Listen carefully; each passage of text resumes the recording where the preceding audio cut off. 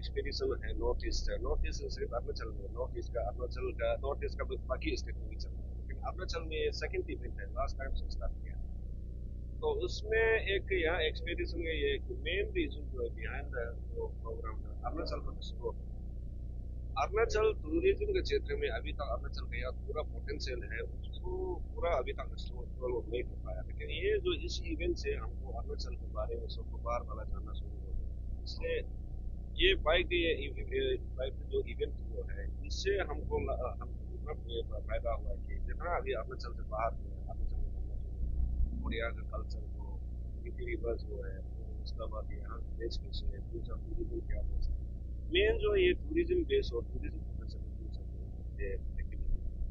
और ये एक एनुअल इवेंट है, ये इंटरनेशनल लास्ट टाइम जो है, हमारा एक वर्ल्ड रिकॉर्ड जो है Guinness book of world record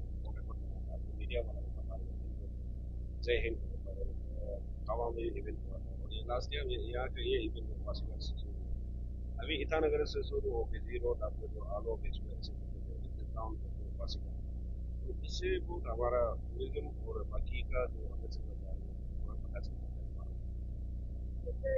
बहुत सा इलाका है जहाँ पर गाड़ी की नहीं जाता है तो उसमें ये एक्सप्लोर कैसे जैसे मान है, हर डिस्ट्रिक्ट में अभी पूरा गाड़ी का कनेक्टिविटी है। अरुणाचल में ऑलमोस्ट ये पेमा कंदू जो नेटवर्क है इस पर जो हमारा एनडीए हमारा एनडीए जो बीजेपी सरकार जो है, अभी रोड का तो ऐसे कोई कसरत हो रहा है, क्योंकि जहाँ कनेक्टिविटी है वहाँ पे पहुँचा है, और मोबर रोड तक पूरा रोड पहुँच गया पहले जैसे नहीं अभी। दस साल अरुणाचल पहले प्रदेश, पहले जैसे था, वैसे अभी आपका रेल कनेक्टिविटी हो गया एयर कनेक्टिविटी हो गया, रोड जो हर डिस्ट्रिक्ट में पूरा डाउन पहुँच गया, और बॉर्डर एरिया में रोड जो ऑलमोस्ट पहुँच गया। कोई उसका कोई कठिन नहीं है। इसलिए ये लोग जो टीम जो कुलकर्णी जी की टीम जो लास्ट बॉर्डर में लास्ट टाइम भी जा चुके हैं। ऐसे कोई बॉर्डर नहीं है कि अरुणाचल में जहाँ बॉर्डर है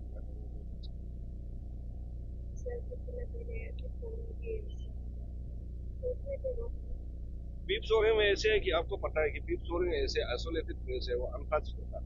लेकिन रेकॉर्ड दो साल में हमारे वहाँ का जो लोकल जो एमएलए जो है उसके मेनू से और हमारा चीफ मिनिस्टर पेमा कंदू जी और डिप्टी चीफ मिनिस्टर हमारे पेमा ये चोनामेन जी का आशीर्वाद से अभी आपको बता दिया कि फिफ्टीन अगस्त तक रोड पहुंचेगी, क्योंकि वो रिकॉर्ड जो है ऐसे एक आइसोलेटेड कोई पहले पता नहीं था। तो हम लास्ट 2020 को ताली गया था। ताली हम यहाँ से ताली ताली से फिर और और अंदर जाता है। तो वहाँ का लगभग फोर्टी फिफ्टी किलोमीटर।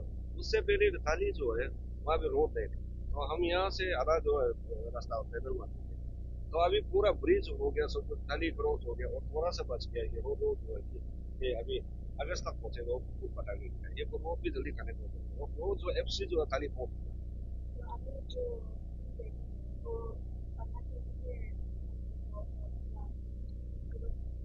उसमें अपना एक तो टाइम सेव होता है कि अभी ये जाएगा पूरा अरुणाचल जाना है बोलते नहीं है लास्ट टाइम जितना अरुणाचल को वो अरुणाचल को विज़िट किया है मैंने जो बाइकर से उसका अलावा इस पर जो है जैसे ज़ीरो हो गया अभी डाबरी जो आलो लास्ट टाइम नहीं हो चुका अभी एक और वहाँ से टाउन को फांसी का दिया नेक्स्ट बात ये होगा फिर नेक्स्ट टाइम फिर ये लोग एक टारगेट देता है प्लान देता है कि जिस जिस जगह पे ये नहीं गया फिर जाना शुरू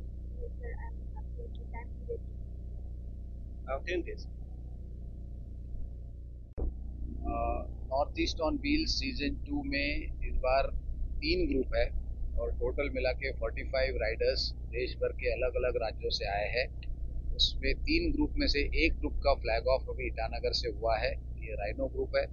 दो ग्रुप का फ्लैग ऑफ़ इसी समय अभी गुवाहाटी से हुआ है, जिसमें फाल्कन और मायना ऐसे दो ग्रुप्स है।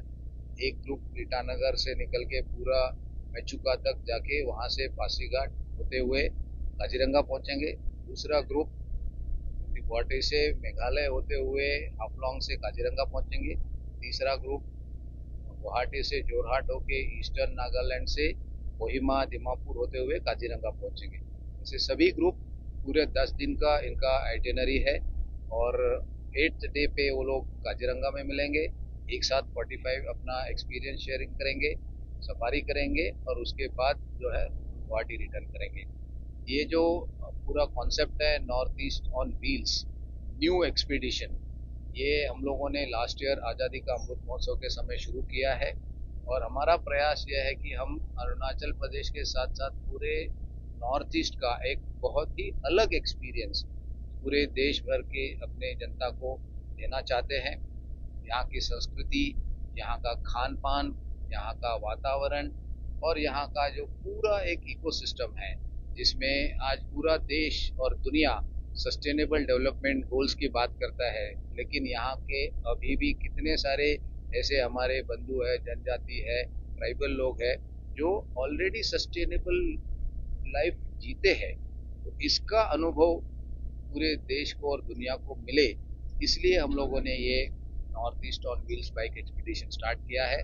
साल में एक बार ही हम ये करते हैं क्योंकि उस प्रकार का एक्सपीरियंस हम देते हैं। हम लोग अमेजिंग नमस्ते फाउंडेशन ये एक सेक्शन एट कंपनी है जो नॉर्थ ईस्ट में काम करने वाले जो भी सारे अलग अलग फ़ील्ड में एक्सपर्ट लोग हैं, ऐसे मिलाकर ये हम लोगों ने इनिशिएटिव लॉन्च किया है। और इसमें उत्तर पूर्वी क्षेत्र विकास मंत्रालय, भारत सरकार, सड़क परिवहन मंत्रालय, भारत सरकार, अरुणाचल प्रदेश, मेघालय, नागालैंड का पर्यटन विभाग ऐसे सभी लोग इसमें हम लोगों को सहायता कर रहे हैं। साथ में स्थानीय जितने भी बाइकर्स हैं, वो जगह जगह पर इसमें पार्टिसिपेट कर रहे हैं। जैसे यहाँ से एक बाइकर गया है जो रोइंग का है, फिर आलो में बाइकर ज्वाइन करेंगे, वो उनके साथ दो दिन रहेंगे। पासीघाट में बाइकर ज्वाइन तो लोकल बाइकर्स जो यूथ है, उसको भी हमने इसमें जोड़ा है। और हम ये मानते हैं कि स्थानीय लोग जितना अच्छे से स्वागत कर सकते हैं और सारा एक्सपीरियंस दे सकते हैं कोई भी दूसरा व्यक्ति उसको नहीं कर सकता है। इसलिए हम, हमारा प्रयास है कि जो पूरा रूरल इकोनॉमी है, जिसमें हमारा हैंडलूम है, हैंडीक्राफ्ट है, या फिर अपना भोजन है खान पान है, इन सबको बढ़ावा देने के लिए ऐसे हम लोगों को इंटीरियर पार्ट्स में और जो अनटच बिल्कुल ही अभी तक वर्जिन एरिया अरुणाचल प्रदेश में बहुत ऐसे लोकेशंस है। इसमें जाने का मौका यहाँ पर बाइकर्स को हम लोगों ने दिया है। लास्ट ईयर हमने गिनीज वर्ल्ड रिकॉर्ड में भी अरुणाचल प्रदेश सरकार के साथ यहाँ पर काम किया था। उसी समय मुख्यमंत्री पेमा खांडू जी ने कहा था कि इसमें और भी अलग अलग इनिशिएटिव आगे लेना है। तो एक तो ये इनिशिएटिव हमने अभी लिया है। साथ में और भी आगे इनिशिएटिव्स है जिसके लेकर हम लोग अरुणाचल सरकार के साथ काम कर रहे हैं। आप सबका बहुत बहुत धन्यवाद। और अरुणाचल प्रदेश में आपको हमारे तरफ़ से